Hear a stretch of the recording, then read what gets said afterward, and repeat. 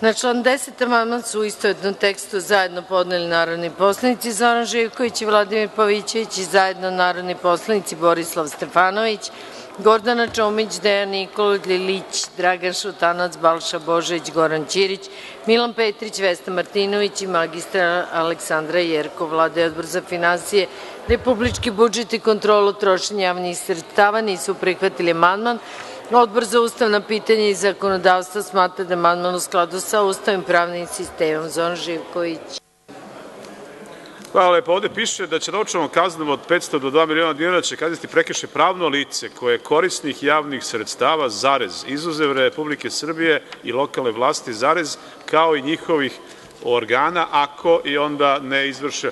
Zašto se ovde izuzima Republika Srbija, lokalne vlasti i njihovi organi? To je, mislim, nejasno, tako da bi bilo dobro da nam, da nam ministar to objasni. I pošto smo na kraju ove serije naših amandmana na ovaj zakon, drago mi je što smo se složili sa, o, ministar i gospodin Pavićević i ja da ovo nije mera koja rešava problem, da treba doći do ozbiljnijih mera. Potpuno se slažemo sa onim što je izneo ministar i što jeste naše viđenje i naš program za rešavanje tog problema, a to je da je neophodno smanjiti masu plata u javnom sektoru za bar 9%, verovatno i više od toga i da je u izvršavanju te namere nedovoljno to da se smanjuju plate linearno, nego da treba ići ka tome da se smanji broj zaposlenih, pre svega iz kategorije dovedenih i kategorije onih koji ne znaju zašto su zaposleni, ne znaju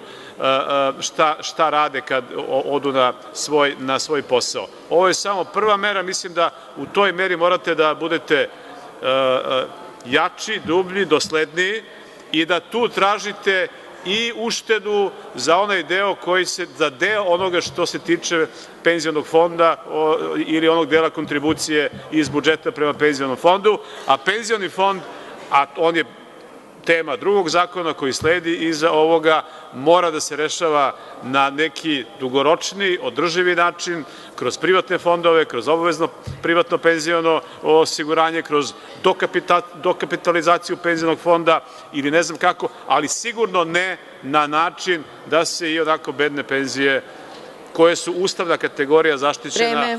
Vreme, smanjuju.